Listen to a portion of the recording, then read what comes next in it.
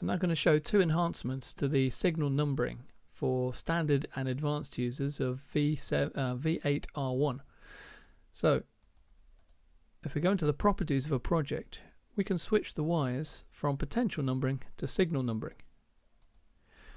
For the standard version, there was a limit of four layers, so we can add perhaps an earth, set the format numbering, and maybe set the properties there so that we're drawing in a different pen and perhaps we're choosing a different pen style. In uh, V8R1 we can now add an additional layer so we can set the properties for that and also perhaps set the properties for how it looks on the drawing so we can distinguish the different types of wire. You can in here set the shortest length and that's not changed. So the change there is in the standard version we now have five possible wire signal layers that we can use.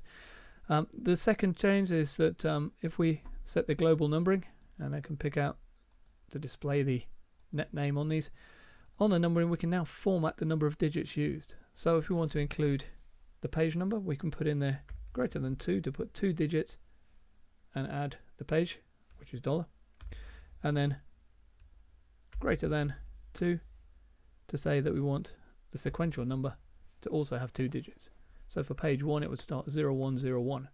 So if we click on OK, click on OK, and now when we run the numbering, if we generate the actual wire numbers, generate, I'll just unlock any numbers that are already on there, and we should see we've got the number in there 01, 03, 05, and so on throughout the project.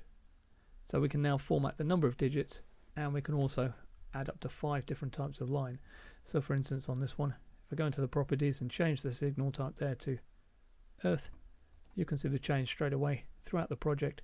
So that will adjust the uh, color and line style.